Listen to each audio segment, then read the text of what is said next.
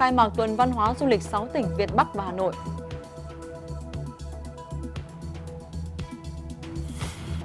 Hà Nội tiếp tục tiêm vaccine phòng COVID-19 cho trẻ. Ấn Độ, số ca nhiễm COVID-19 tăng cao trở lại tại thủ đô New Delhi. Kính chào quý vị khán giả đang theo dõi bản tin nhịp sống hôm nay của truyền hình Đài Tiếng Nói Việt Nam VOV-TV. Thưa quý vị và các bạn, tối ngày hôm qua, ngày 16 tháng 4, lễ khai mạc tuần văn hóa du lịch 6 tỉnh Việt Bắc và Hà Nội năm 2022 đã tưng bừng diễn ra tại khu vực vườn hoa Lý Thái Tổ, quận Hoàn Kiếm, thành phố Hà Nội. Sự kiện nằm trong chương trình qua những miền di sản Việt Bắc, hợp tác phát triển du lịch giữa 6 tỉnh vùng Việt Bắc được tổ chức hàng năm với sự tham gia của các tỉnh Hà Giang, Tuyên Quang, Thái Nguyên, Bắc Cạn, Cao Bằng, Lạng Sơn. Phát biểu khai mạc chương trình, Chủ tịch Ủy ban nhân dân tỉnh Hà Giang Nguyễn Văn Sơn nhấn mạnh, vùng Việt Bắc có vị trí chiến lược quan trọng trong khu vực và cả nước, có cảnh quan thiên nhiên hùng vĩ, văn hóa lâu đời và bản sắc, nơi được biết tới là chiến khu cách mạng, gió ngàn hào hùng lịch sử. Trong những năm qua, diện mạo kinh tế xã hội các tỉnh vùng Việt Bắc đã có nhiều khởi sắc, trong đó du lịch dịch vụ ngày càng phát triển và đang trong giai đoạn chuyển mình mạnh mẽ để trở thành điểm đến và là cầu nối quan trọng trong liên kết vùng, khu vực và quốc tế. Tuần văn hóa du lịch 6 tỉnh Việt Bắc và Hà Nội năm 2022 sẽ mang hình ảnh núi rừng, con người Việt Bắc đến gần hơn với đông đảo người dân, du khách trong và ngoài nước. Đồng thời thể hiện quyết tâm của các tỉnh để tổ chức thực hiện có hiệu quả nghị quyết số 11 ngày 10 tháng 2 năm 2022 của Bộ Chính trị. Bên cạnh đó, sự kiện cũng là lời mời chào tha thiết du khách đến với Việt Bắc qua các con đường di sản, địa danh nổi tiếng và đặc biệt là bản sắc văn hóa đa dạng, tâm hồn nồng hậu, hiếu khách, nghĩa tình của đồng bào nhân dân các dân tộc vùng cao. Năm 2022 là năm thứ 13 chương trình du lịch qua miền di sản Việt Bắc được tổ chức. Đây đồng thời là sự kiện lần đầu tiên do các tỉnh Việt Bắc phối hợp tổ chức ngoài khu vực nhằm nâng cao hiệu quả, tăng cường công tác quảng bá tiềm năng thế mạnh du lịch vùng Việt Bắc thông qua tổ chức sự kiện chung, gắn kết, lồng ghép với các chuỗi sự kiện của các địa phương. Diễn ra từ ngày 15 đến hết ngày 17 tháng 4 tại khu vực vườn hoa Lý Thái Tổ, Tuần văn hóa du lịch 6 tỉnh Việt Bắc và Hà Nội đã thu hút đông đảo người dân đến tham quan, trải nghiệm và tìm hiểu nét văn hóa đặc sắc của các địa phương. Tại không gian trưng bày văn hóa du lịch và sản phẩm đặc trưng vùng Việt Bắc, mỗi gian hàng của các địa phương đều mô phỏng văn hóa, kiến trúc đặc trưng. Tại đây, du khách được thông tin về du lịch, giới thiệu về những nét văn hóa đặc sắc của từng địa phương, thưởng thức, mua sắm đặc sản, sản phẩm ô cốp của các tỉnh. Tôi thấy là rất là tuyệt vời. Cái thỉnh thoảng mà nhà nước ờ, có những cái cơ hội như này để cho bà con đi mua sắm gần ngay đây này mà tôi cảm thấy nó rất là phong phú đúng là, à, là nét văn hóa của Việt Nam. Tôi cảm thấy à, rất là tự hào về dân tộc Việt Nam ta. Tôi thấy à, rất là phong phú đấy. Các cái sản phẩm thí dụ như ở Thái Nguyên thì tôi, tôi hay chú ý đến vấn đề là trà về các cái sản phẩm về về về, về rừng. Thì à, ở đây cũng rất là nhiều rất là phong phú. Và giá cả tôi thấy cũng rất là hợp lý tôi có à, dự định mua trà và một số những cái à, à về về à, cái đồ uống rồi đồ ăn ừ, trong gia đình. Thông qua các hoạt động này là du lịch Thái Nguyên muốn giới thiệu đến những nét đẹp về văn hóa cũng như nét đẹp về con người của người dân Thái Nguyên đến với các bạn bè du khách trong à, trong à, tham dự chương trình, du khách tham dự chương trình. À, hơn nữa là muốn đẩy mạnh việc quảng bá kích cầu du lịch Thái Nguyên sau ảnh hưởng của đại dịch Covid-19. Trải qua 13 năm tổ chức, chương trình du lịch qua những miền di sản Việt Bắc do các tỉnh Việt Bắc khởi xướng, luân phiên tổ chức giữa các tỉnh trong nhóm đã trở thành sự kiện thường niên, là sản phẩm du lịch hấp dẫn. Lần này, sự kiện được tổ chức tại Hà Nội là dịp để các tỉnh, thành phố xúc tiến, quảng bá và phục hồi du lịch sau đại dịch Covid-19. Thông qua cái tuần văn hóa này thì à, Hà Giang đã gửi đến à, tất cả đồng bào và người dân ở thủ đô à, về một cái thông điệp rằng Hà Giang là một cái điểm đến rất là tuyệt vời, an toàn à, và thân thiện trong một cái bối cảnh bình thường mới. Và đặc biệt nữa là chúng tôi đã mang đến với cái tuần văn hóa này rất nhiều các cái sản phẩm đặc trưng rất là nổi tiếng của Hà Giang và như vậy có nghĩa là chúng tôi đang thúc đẩy cái sự phát triển kinh tế xã hội của địa phương giúp xóa đói giảm nghèo và tạo sinh kế cho người dân ở nơi mà chúng tôi Ờ, mong muốn phát triển du lịch ừ, một cách à, nhanh và bền vững.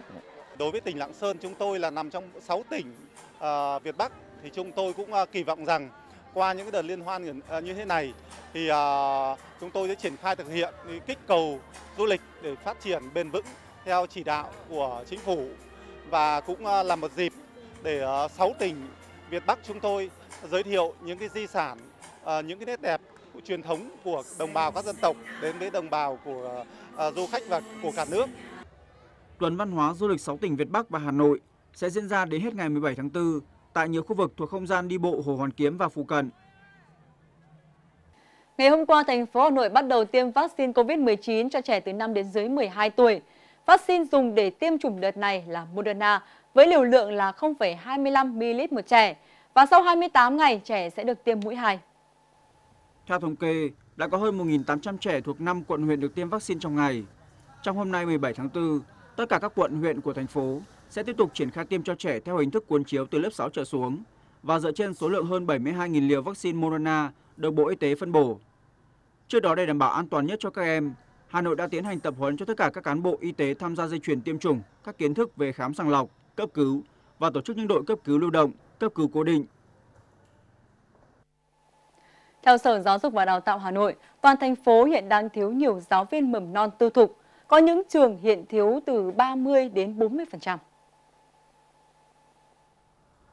Cùng với đó, hiện có 13 trường mầm non tư thục và 202 nhóm trẻ lớp mẫu giáo độc lập tư thục có quyết định giải thể.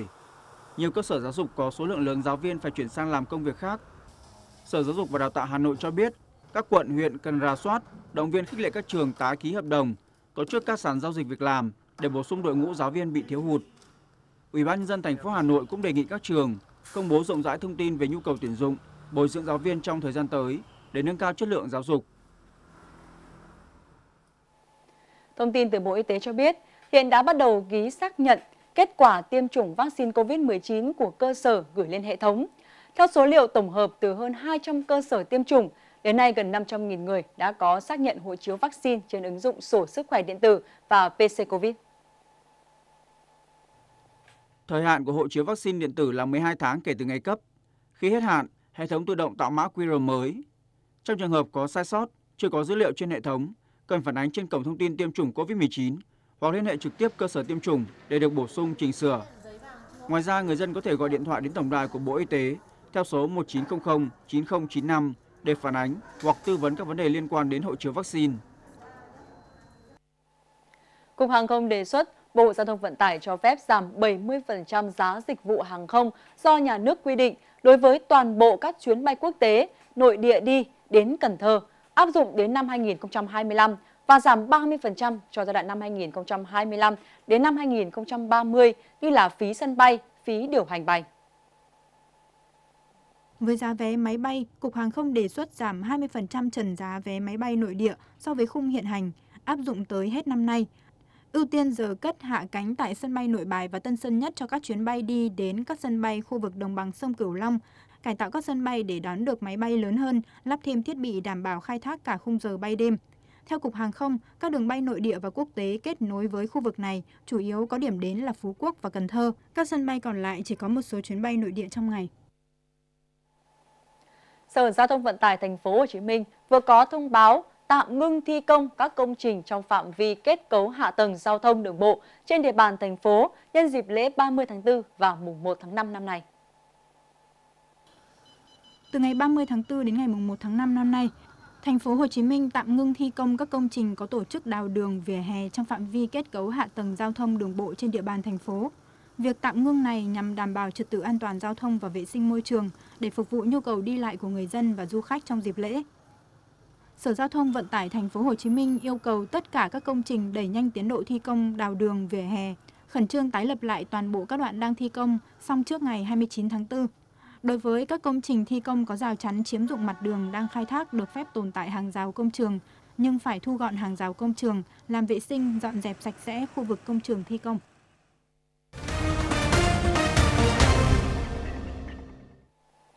Chuyển sang phần tin quốc tế với những thông tin đáng chú ý. Thưa quý vị, sau một thời gian số ca COVID-19 giảm, thủ đô New Delhi của Ấn Độ một lần nữa chứng kiến sự gia tăng các trường hợp nhiễm COVID-19. Chính quyền thủ đô đang chuẩn bị các biện pháp đối phó với tình hình và yêu cầu tất cả các bệnh viện đặt trong tình trạng sẵn sàng đối phó với dịch bệnh. Dũng Hoàng, phóng viên Đài Tiếng Nói Việt Nam, thường trú tại Ấn Độ thông tin. Thủ đô New Delhi đã chứng kiến sự gia tăng các trường hợp nhiễm COVID-19 trong vài ngày qua. Trong 24 giờ qua, New Delhi đã ghi nhận 366 trường hợp nhiễm COVID-19 với tỷ lệ dương tính gần 4%.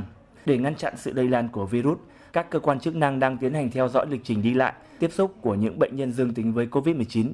Đồng thời, việc tăng cường xét nghiệm RT-PCR cũng sẽ được áp dụng khi cần thiết.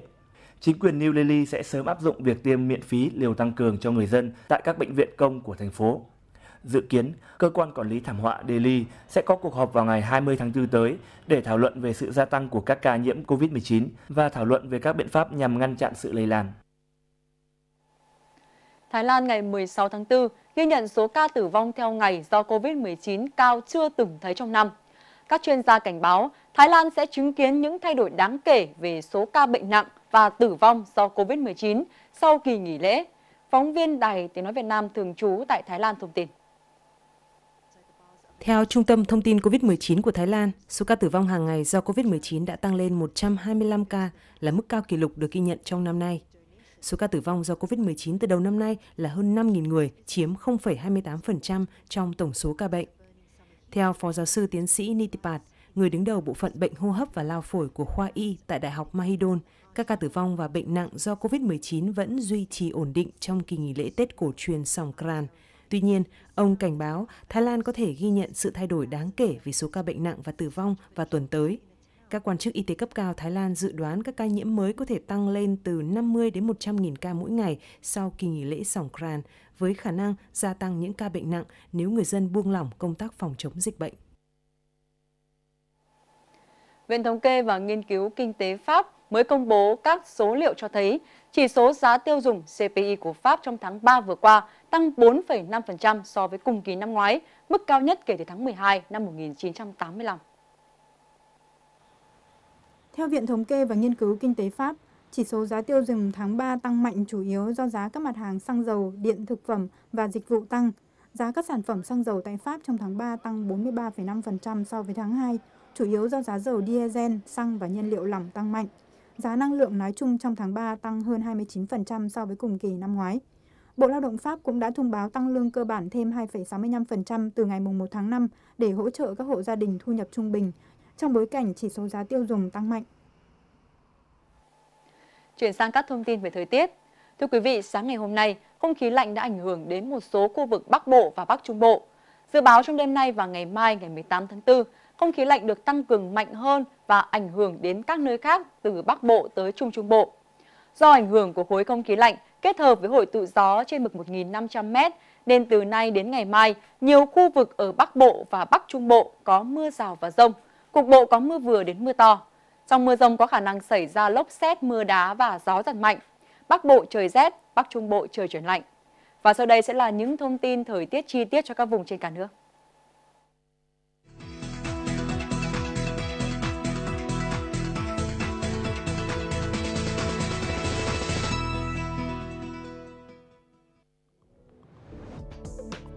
Dự báo thời tiết chiều và đêm 17 tháng 4. Phía Đông Bắc Bộ có mưa rào và rải rác có rông, cục bộ có mưa vừa mưa to, vùng núi có nơi mưa rất to và rông, nhiệt độ từ 16 đến 22 độ. Phía Tây Bắc Bộ có mưa vừa mưa to, có nơi mưa rất to và rông, trời rét, nhiệt độ từ 16 đến 27 độ. Các tỉnh từ Thanh Hóa đến Thừa Thiên Huế có mưa rào và rải rác có rông, cục bộ có mưa vừa mưa to, phía Bắc đêm chuyển lạnh, nhiệt độ từ 19 đến 30 độ. Các tỉnh từ Đà Nẵng đến Bình Thuận, chiều tối và đêm có mưa rào và rông vài nơi, nhiệt độ từ 23 đến 32 độ.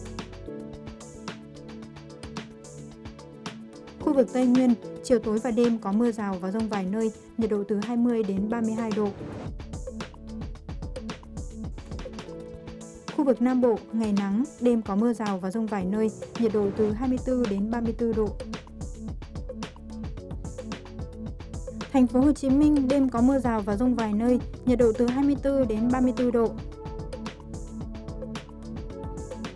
Thủ đô Hà Nội, có lúc có mưa rào và rông, gió đông bắc cấp 2, cấp 3, trời rét, nhiệt độ từ 17 đến 22 độ.